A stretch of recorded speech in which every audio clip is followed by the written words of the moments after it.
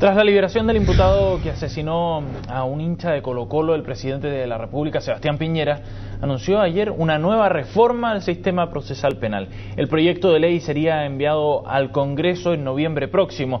Algunas reacciones a este anuncio las tiene Catherine Ibáñez. ¿Qué tal, Katy? ¿Cómo estás? Buenos días. No todos han sido flores, digamos, para esta idea del gobierno, ¿no?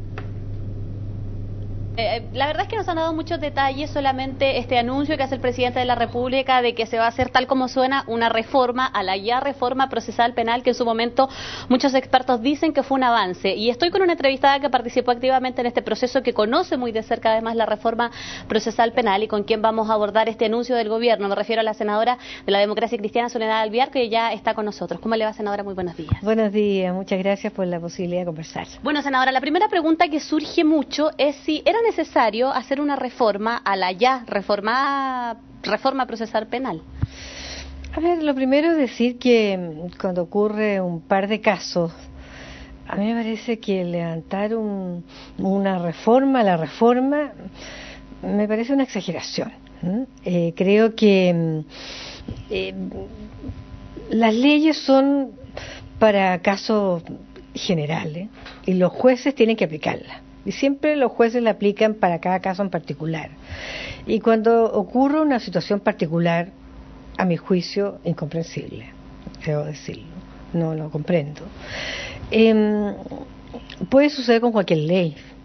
Entonces, eh, yo creo que aquí se requieren varias cosas. Se requiere mucho más eh, coordinación entre los distintos actores, léese el Ministerio Público, los jueces, la policía, eh, el propio gobierno. Eh, se requiere mucho más capacitación. La Academia Judicial debiese contar con los recursos necesarios para una capacitación más adecuada de los jueces, una capacitación permanente.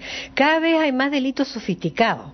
Uno está, por ejemplo, eh, legislando sobre lo que son los delitos de propiedad intelectual, los delitos informáticos, y se requiere una capacitación para ello, porque los jueces, bueno, pasan a conocer nuevos delitos que requieren capacitación, eh, los policías tienen que investigar nuevos delitos, los fiscales también. Entonces, si no se capacita permanentemente, mal se pueden investigar estos nuevos delitos. Em, es importante el que podamos contar con mayores recursos para ciertas cosas. Por ejemplo, lamentablemente hemos visto tantos abusos sexuales a niños, violaciones a niños. Y ustedes mismos informan que no hay médicos en el servicio médico legal y que hay una cola de niños esperando para hacer los peritajes. Bueno, eso no es un problema de ley, es un problema de tener más médicos en el servicio médico legal para que puedan hacerle los exámenes a esos niños. Uno ve una cantidad de armas, ¿no es cierto?, hechizas que se ven con estos violentistas que se meten delincuentes en las protestas o los mismos delitos que se cometen en asaltos en casa. Bueno, ¿Dónde hay más recursos de, prevención para poder incautar esas armas? Eso no es un problema de ley, es un problema de cómo se ponen los recursos necesarios para poder prevenir. ¿Cuántos delitos se cometen por jóvenes? 86% de los delitos de los jóvenes se cometen porque están consumiendo droga. ¿Cuánto estamos poniendo como país en la prevención? Del consumo de droga o en la rehabilitación del consumo de droga para que no se cometan esos delitos. Entonces, este es un todo, este es un todo. Entonces, es mucho más que una reforma, una ley, y mucho más que la reforma al proceso penal. Lo que yo creo que hay que reformar es el código penal. El código penal nunca se o sea, no se ha modificado, se han modificado cosas puntuales. Entonces, la cadena de los delitos que van aumentando, porque hace 100 años atrás, ¿no es cierto?, no existían los delitos informáticos, no existían.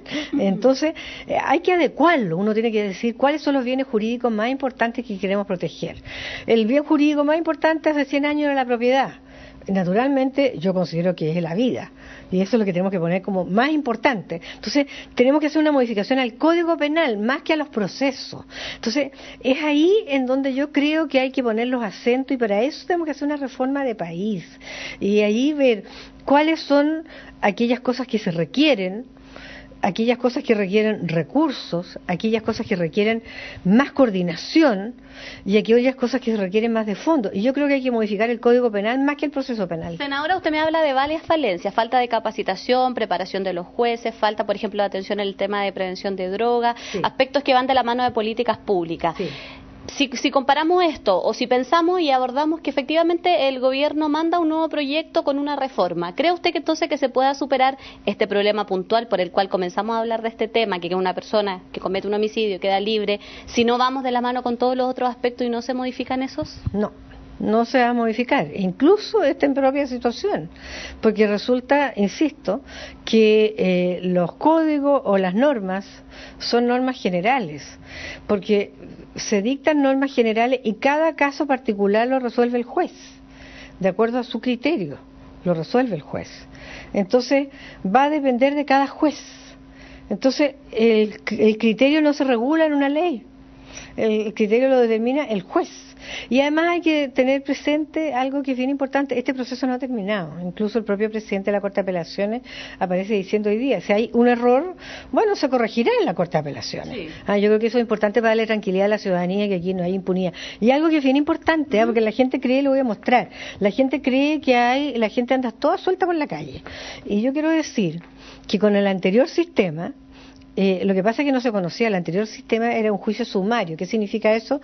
Que era un juicio secreto. Nadie sabía nada y estas cosas podían pasar y no tenía idea. Lo que pasa es que hoy los juicios son abiertos. La gente, la prensa entra, informa y tiene todo el reproche social y con razón y me parece bien que sea así. Y aquí yo quiero mostrar el cuadro cómo ha aumentado, esta curva refleja desde que empieza a regir la reforma, cómo ha aumentado la cantidad de presos tenemos las cárceles colapsadas. Cada vez que hay un reportaje de televisión muestra el colapso en las cárceles. Tenemos muchos más presos, mire cómo aumentan los presos. Mm. Tenemos muchas más personas en la cárcel con el nuevo sistema que con el antiguo sistema. Entonces es un error. Lo que pasa es que cuando ocurren estas situaciones como la de este asesinato, claro, que conmueve y pareciera ser que andan todo en la calle. Eh, entonces, cuando ocurren ese tipo de situaciones, son las que conmueven, pero lo que pasa es que no muestra, no se muestra, porque es la normalidad, exactamente, no se ha cumplido, el, y no se muestra, en definitiva, cuando sí va a la cárcel después que se puede haber cometido un error al haberlo dejado libre, eh, mientras se lleva adelante el proceso, pero después termina en la cárcel. Entonces, creo que eh, existe una sobrereacción. Y cuando hay situaciones eh, sobre calientito no se debe em, eh, tomar, decisiones. Es como cuando muere el marido, entonces la viuda después de enterrar al marido viene y le dice, mira, tú tienes que cambiarte, la casa te quedó muy grande, eh, tienes que cambiarte un departamento porque es más seguro. O sea, la viuda no puede tomar decisiones inmediatamente después del funeral, tiene que dejar pasar unos días, vivir el duelo y después tomar otro tipo de decisiones, hacer como un diagnóstico, cómo voy a vivir, qué es lo que quiero, pasar el duelo y después tomar las decisiones. Yo creo que aquí pasa lo mismo. Yo estoy súper disponible a hacer desde el Parlamento lo que yo más pueda contribuir a, tener un mejor país, con más seguridad, con, todo lo que sea necesario. Yo me voy a meter bien en el tema del presupuesto, pero yo creo que hay muchas cosas que corregir. Por ejemplo, el año pasado en el presupuesto, espero que no se repita ahora, nosotros teníamos el 93% de los recursos para las personas que estaban dentro de las cárceles y un 7% para rehabilitación.